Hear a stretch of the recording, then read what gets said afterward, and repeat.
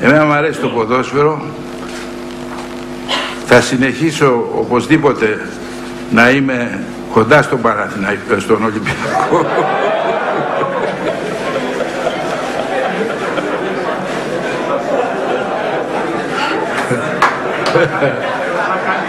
και,